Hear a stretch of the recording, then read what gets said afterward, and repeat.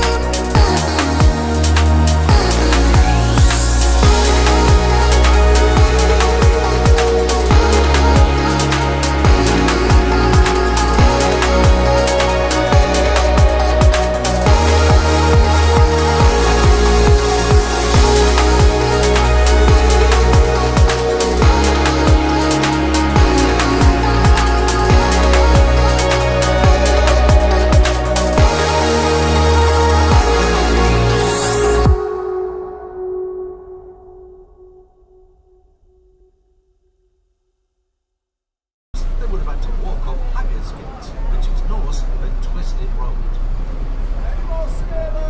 On the left, as we turn into the narrow Haggersgate, look out for the large Georgian mansion built in 1870.